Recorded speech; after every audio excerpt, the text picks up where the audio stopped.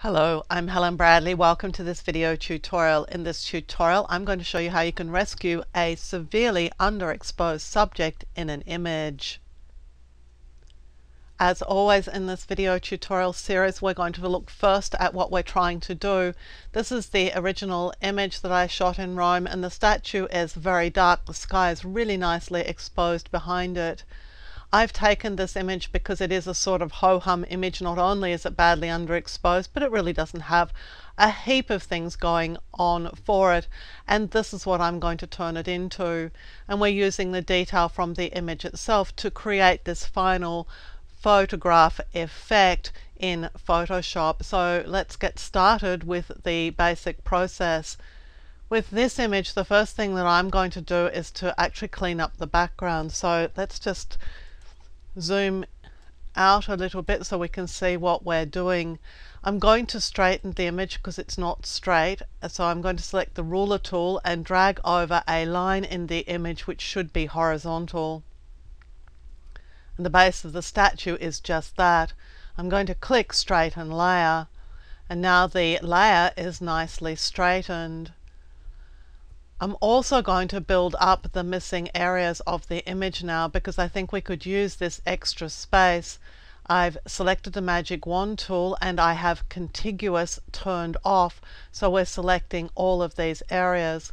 I want to select a little bit more so I'm going to choose select and then modify and expand this selection by 10 pixels so we make sure that we go well into the image area and then edit and fill and we're going to choose content aware fill. This means that we're not discarding the edges from the image by having to crop it. Now let's deselect the selection and fix up anything that still needs fixing. I'm targeting here the patch tool as that's quite a good tool for fixing these areas. Just going to select around anything that I want to remove and then find an area of the image which is a good piece of the image to use for the removal. For these very top edges, I'm just going to crop the image. So let's just crop in just very slightly to make sure that we've got nice square edges on this image. Okay, this is not being very happy right now. So here's our starting point for our creation. And the next thing we're going to do is isolate the statue onto a layer all by themselves or all by itself. So I'm going to duplicate this layer to begin with. The way to make a selection of this I think is going to be using a channel. So let's go and view the channels palette and let's see which of these channels has a good contrast in the area that we're interested in and it's certainly going to be the blue channel so I'm going to right click and duplicate the blue channel so I can create a channel here that I can use to make a selection I'm going to adjust the levels in the channel because I want to get a good differentiation between light and dark. It's just going to make my selection a whole lot easier to achieve. And I'm just looking for this sort of silhouette effect because then I'm going to take the magic wand tool and I'm going to set it to quite a high tolerance and I'm going to select on the background so that I have the background sky selected. Now I can choose select and inverse and what we have now selected is the statue.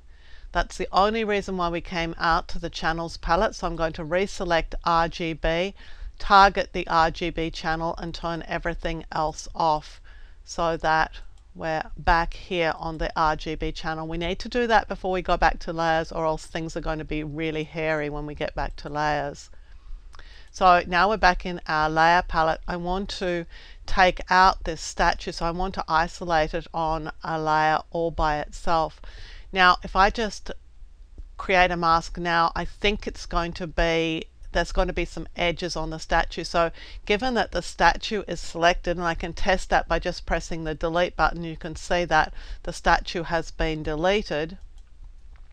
I can take this selection and bring it in a little bit. So I'm going to choose select and then modify and then contract and we're going to contract it by probably about four pixels that's going to take just the very edge off it and now I'm going to add a layer mask and that layer mask has now isolated the statue on a layer all by itself Having done that, I can now move to this layer here and let's isolate the sky. So I'm going to control click on this layer mask so I get my statue selection. I'm going to turn this layer off and turn this layer on. And if we remember now that this layer, or sorry, this selection that we're working with here on this layer is a little bit smaller than the edges of the statue, let's just make it a little bit bigger. So let's go to select and let's go to modify and let's expand it this time. We took it in about 4 pixels last time. Let's take it out 15 pixels this time. We're not going to be nearly as fussy here because what we want to do is make sure that we're getting rid of the entire statue. So I'm just going to press the delete key and we can check and see that we're going to get rid of the entire statue when we do that. Now let's put the statue back in and let's choose Edit, Fill, and Content Aware. And what that's going to do is remove the statue and just fill in the background with some really nice sky. And there we have the result. When I deselect the selection, you can see that we've now got a piece of sky and a statue that's on top of the sky but separated from it.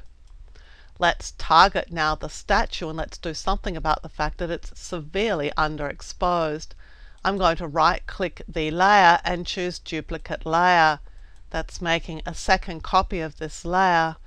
And if you've watched some of my tutorials earlier, you'll know that if we turn this top layer into the screen blend mode, we're going to lighten the statue.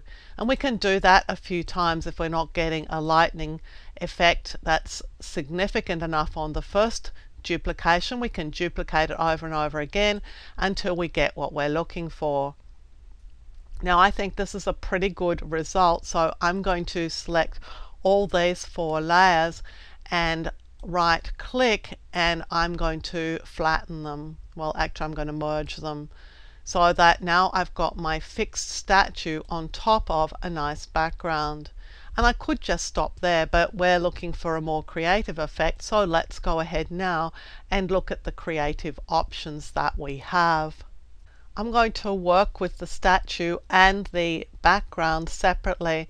So I'm going to target the background and I'm going to add a adjustment layer, layer, new adjustment layer, and I'm going to make this a curves adjustment because that will allow me to bring some details into these clouds.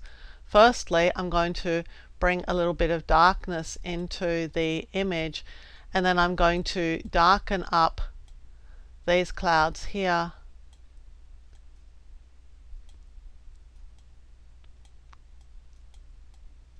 Just going to look for an effect that's pleasing to my eye. Just don't think I want the sky to be all that dark but I do want some detail in these clouds.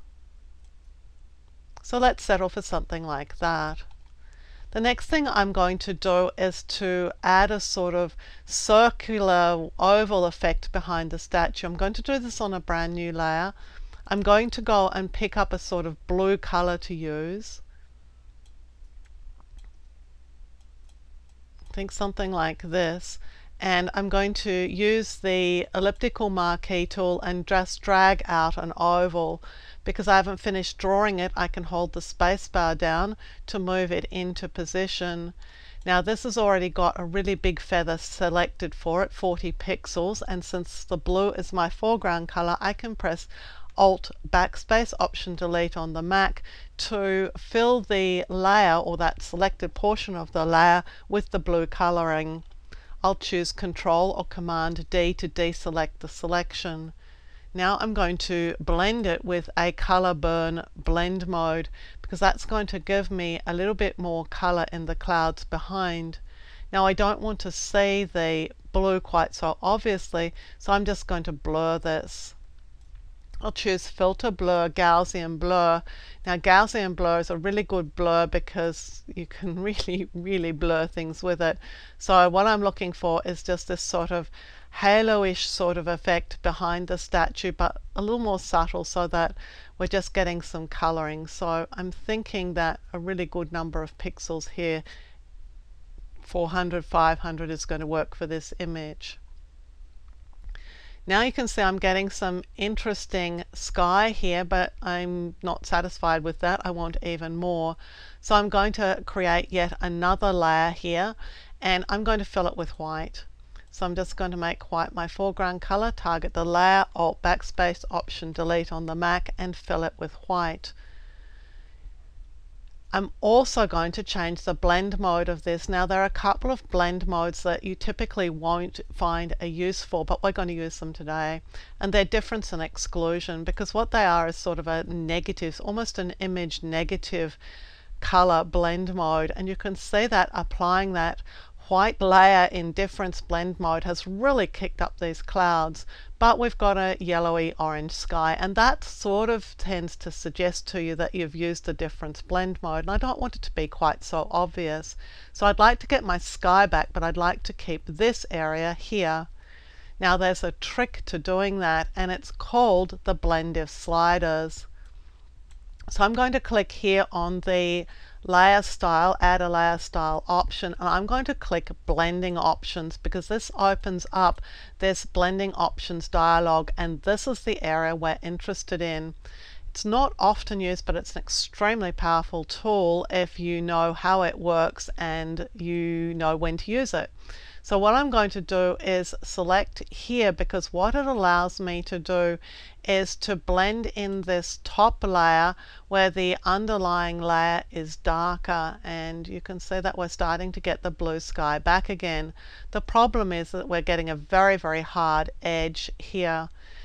The way I can avoid that is to hold the Alt or Option key as I drag this slider into two pieces. It actually breaks apart and what that allows me to do is to pinpoint the point at which the effect starts to take over and where it finishes. So this is fully blended. This is starting to be partially blended and now we're petering out to the area here where there is no blending at all.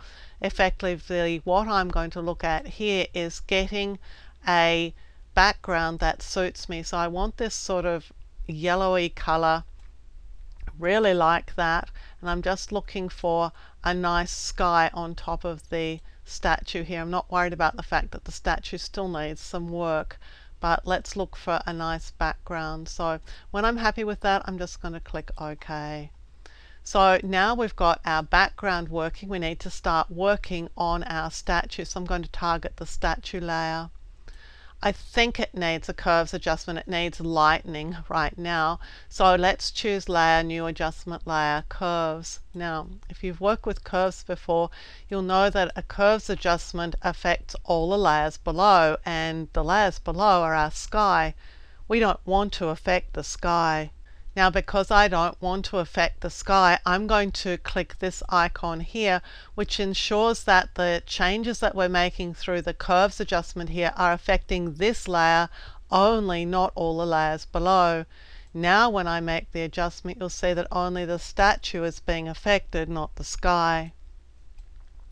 Now I'm not worried about the base of the statue, I'm really just focusing right now on the statue itself because I don't really want changes to be made to the base, but I can avoid those in a minute. So let's just look for a reasonable fix for the statue. And here all we're doing is looking for a sort of luminosity, a little black and white or contrast fix. I'm not also not worried about the color right now. So let's call that good. But let's target this mask here and let's go and paint on the mask with black to remove the effect in the pedestal that the statue is standing on because I didn't really want to blow that out entirely. I think I can kill the color on the statue with a photo filter so let's choose layer new adjustment layer and let's choose photo filter Photo filters are the things that we used to put over our camera lenses and the warming filters are really lovely. They've got a nice sort of yellow color in them and again here I want to make sure that this color is being applied only to the statue layer, not to the cloud layer below. So I'm going to make sure that I have this icon selected. And you'll see that there's this little bent icon here and the bent icon here. That tells us that these two adjustment layers are being clipped so that they're only applying to this particular layer. Now I can adjust the amount of this color. Another one I could perhaps use is the sepia tone. It's not giving me enough. I really want something yellowy orange and I think these warming filters are going to be a better choice. You can see here, you can see how they're removing the blue in the statue. The way to remove blue in something is to add in its opposite color and its opposite color is sort of yellow orange. So that's going to be a good choice for me here. So let's just add that in and if I don't want it applied to the base of the statue again with the brush and black paint on that mask I can just paint that in over the statue base but in actual fact I think I like it so I'm just going to leave that in I think I also think that the statue could use a little bit of a contrast enhancement. So let's do layer, new adjustment layer, and let's bring in brightness and contrast. Now these used to be hideous adjustments in earlier versions of Photoshop, but they're much better now. Just don't use, use Legacy. You don't want to use Legacy because that was awful. And this version is much better. So let's just adjust up the contrast to get a little bit more of a contrasty image here. And so now we've got an image that looks a whole lot different to the one we started out with. Let's have a look at the starting point. This is a total throwaway image. It's one that you could have a look in your collection say, well, I totally am not going to use that because it is awful. But straighten it, bring out some of the cloud detail behind it and add some interesting effects to the image and you've got something that you could use as wall art. If I were using it as wall art, I would probably, well, let's first of all make sure that this layer is just affecting the statue. So let's go to layer, create clipping mask and take it away from the background, just make it affect the statue. To create something that I would put as wall art, I would add a bit of noise. So I'm going to target the topmost layer, press Control, Alt, Shift and E to get a flattened version of the image on this top layer. And now I can add a little noise with Filter, Noise, Add Noise. Now I only want a little bit of noise, but I do want to make sure that I'm getting the right sort of noise. Monochromatic is black and white noise, so that's going to be a good sort of noise for this particular image. And Gaussian applies more noise in the darker areas and less noise in the lighter areas. Uniform just applies it across the board. So Gaussian is actually a better amount of noise and you just want a little bit, maybe something up to 3 or 4% will be quite sufficient. Let's just type in 4 there. And I'll click OK. So there's my finished image. Thank you for joining me for this video tutorial. If you enjoyed this tutorial, please consider subscribing to my YouTube channel and you'll be advised when new video tutorials are released. Visit my website at projectwoman.com for more tips, tricks, and tutorials on Photoshop, Lightroom, Elements, Illustrator, and a whole lot more.